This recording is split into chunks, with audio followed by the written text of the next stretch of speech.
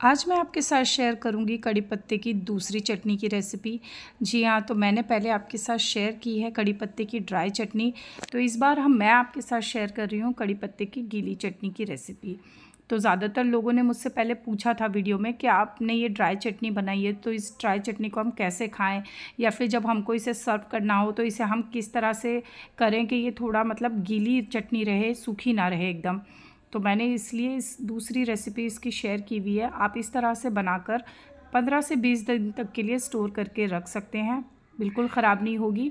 तो आप कम क्वांटिटी में बनाएँ और फ्रिज में स्टोर कर लें। और ड्राई वाली चटनी वो अब तक रखी हुई है। करीब डेढ़ महीना हो गया है। बिल्कुल ख़राब नहीं हुई है और वो बहुत ही टेस्टी लगती है। तो चलिए रेसिपी देखते हैं। इसे बनाने के लिए मैंने एक कप कड़ी पत्ता लिया है, पाँच छः कलिया लहसुन की, दो चम्मच मूंगफली और ड्राई जो कोकोनट होता है ना, उसको मैंने ग्रेट कर लिया है। तो कड़ी पत्ते को धोकर आप पहले सुखा लें अच्छे से, गीला ना रहे पत्ता तो आप उसे कपड़े पे फैला दें ताकि वो हल्का सा सूख जाए। तो मैंने कढ़ाई में तेल गरम होने के लिए रख दिया था। तो करीब एक चम्मच तेल गरम कर लेंगे हम और उस तेल को गरम होने के बाद में हम उसमें कड़ी पत्ता ऐड कर देंगे।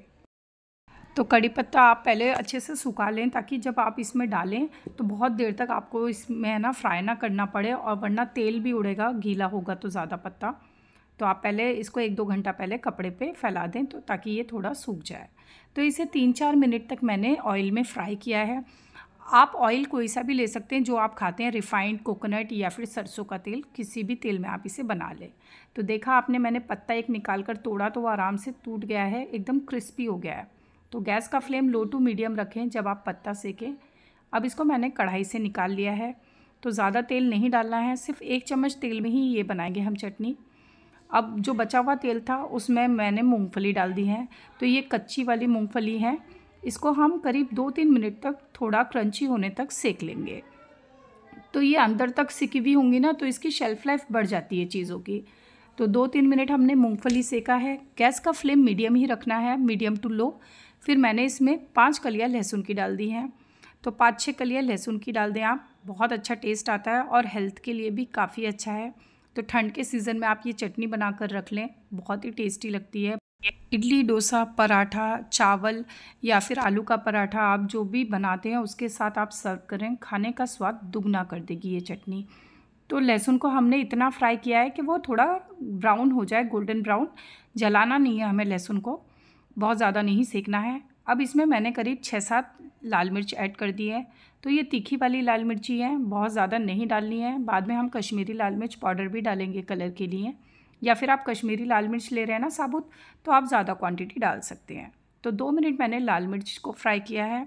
अब इसमें मैंने एक चम्मच भरकर जीरा डाल दिया है। तो वन टेबल स्पून हम इसमें जीरा ऐड करेंगे। तो जीरा को हल्का सा फ्राई करना है और डेढ़ चम्मच मैंने इसमें तिल डाल दिया है।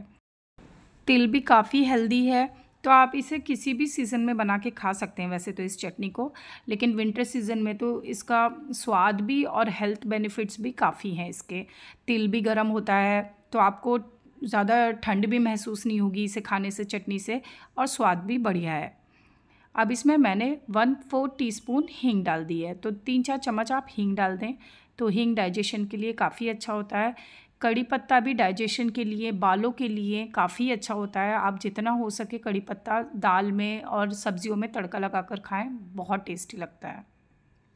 अब इसमें मैंने करीब आधा कप डेसिकेटेड कोकोनट डाल दिया है। तो सूखा वाला नारियल होता है ना, वो डाल देना है ग्रेट करके। तो जो हमने तिल डाला था, तिल को भी हमने एक दो मिनट ही फ्राई किया था और हींग डालने के बाद में हमने नारियल डाल दिया है। तो नारियल को हम सूखने तक थोड़ा फ्राई करेंगे, यानी कि तीन मिनट तक आप इसको सेकें अच्छे से। तो नारियल एकदम से सूख जाएगा और इसकी शेल्फ़ लाइफ बढ़ जाती है। तो ये गीली चटनी है तो इसको भी आप आराम से पंद्रह से बीस दिन तक स्टोर करके रख सकते हैं, बिल्कुल ख़राब नहीं होती है। तो मैंने गैस का फ्लेम लो कर दिया है और नारियल भी अच्छे से सूख गया है। इसे हम प्लेट में निकाल कर ठंडा होने देंगे। तो मैंने आधा घंटे के लिए ऐसे ही रख दिया था रूम टेम्परेचर पर और ये ठंडा हो गया है तो हमने एक जार ले लिया है। इस चटनी को हमें ग्राइंड करना है। तो सूखा चटनी कैसा बनाना है उसका लिंक मैं आपको डिस्क्रिप्शन बॉक्स में डाल दूँगी। और ये गीली चटनी किस तरह से आप बनाएँ, स्टोर करके रखें ताकि ये ख़राब ना हो, वो भी आप देखें। तो ये हमने एक जार में ले लिया है पूरा मिश्रण। अब इसमें हम एक चम्मच विनेगर ऐड करेंगे वाइट विनेगर बस एक ही चम्मच डालना है। अगर ये नहीं है तो आप नींबू का रस डाल सकते हैं। एक नींबू का रस डाल दें। नमक अभी तक हमने ऐड नहीं किया था तो आधा चम्मच मैंने नमक ऐड कर दिया है। ऊपर से हम कड़ी पत्ता डाल देंगे। तो जब सूखी चटनी बनानी थी तो हमने उसमें अमचूर ऐड किया था। गीली बनानी है, इसलिए हमने इसमें नींबू का रस या फिर विनेगर ऐड करना है। तो ये चटनी को हमने ग्राइंड कर लिया है। बिल्कुल बारीक पेस्ट नहीं करना है थोड़ा सा दरदरा रहने दे चटनी को आप। अब हमने कढ़ाई ले ली है, उसमें एक चम्मच से कम तेल गरम करना है, या फिर एक चम्मच तेल ले लें आप, जितना तेल होगा, उतना बढ़िया ये चटनी चलेगी। जब तेल गरम हो जाएगा, एक चम्मच हमने राई डाल दी है। राई अच्छे से तड़क गई है, अब इसमें हम लाल मिर्च पाउडर डाल देंगे। तो ये मैंने कश्मीरी लाल मिर्च पाउडर डाला है, गैस का फ्लेम लो रखना है जब आप मिर्ची डालें, नहीं तो मिर्ची जल जाएगी। और मिर्ची डालने के बाद में हम ये चटनी ऐड कर देंगे। जो चटनी हमने पीसी है ना, वो डाल देनी है। तो जो तेल में हमने लाल मिर्च डाली है ना, उससे कलर काफ़ी अच्छा आता है चटनी का। और कश्मीरी लाल मिर्च से तो बहुत ही बढ़िया आता है। आप ऐसा भी कर सकते हैं कि जो हमने साबुत लाल मिर्च डाली थी, उसकी क्वांटिटी आप कम कर दें और कश्मीरी लाल मिर्च ज़्यादा कर दें आप पाउडर तो उससे कलर और भी रेड आएगा चटनी का। तो इसे हमने तीन चार मिनट तक फ्राई किया है, उसका पानी सूखने तक। जिससे इसकी शेल्फ़ लाइफ बढ़ जाएगी। तो गैस का फ्लेम लो रखें और इसे आप फ्राई करते रहें चटनी को। आप जीरा भी ऐड कर सकते हैं, हींग भी ऐड कर सकते हैं तेल में, उसके बाद चटनी डाल दें। तो एकदम ये चटपटी चटनी बनकर तैयार है, बहुत ही टेस्टी लगती है। तो आप ये वाली चटनी और इसकी ड्राई वाली चटनी दोनों ट्राई करिएगा और मुझे कमेंट्स में बताइएगा कैसी लगी आपको मेरी ये कड़ी पत्ते की चटनी की रेसिपी वीडियो पसंद आई तो प्लीज़ ज़्यादा से ज़्यादा मेरे चैनल को लाइक करें शेयर करें सब्सक्राइब करें।